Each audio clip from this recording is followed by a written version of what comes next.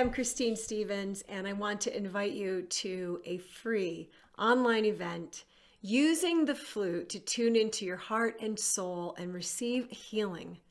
Sound is our first language, it's a universal language, and the flute is an ancient lineage of connecting to spirituality, health, mindfulness, and beauty.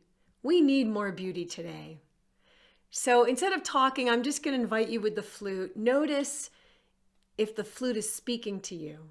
Notice how your breath changes. It's amazing how sound connects quite immediately, one of the speediest tools to shift our mind, body, and spirit in difficult times. So I'll see you there and I'll invite you with the music of the language of my heart and soul to yours.